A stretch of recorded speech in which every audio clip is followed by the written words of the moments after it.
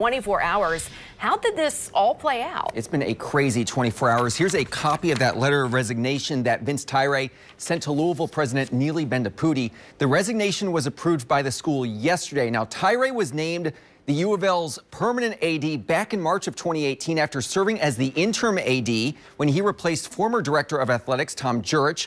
Multiple reports previously linked Tyra to the Florida State AD opening, but that position has now been filled. So Tyra is not going there. We caught up with some Louisville fans at today's Sweet 16 volleyball game to get their thoughts on this whole situation.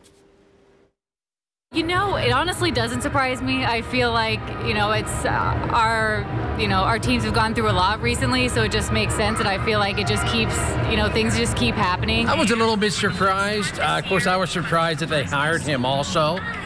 But um, I think U of L will find a very good replacement.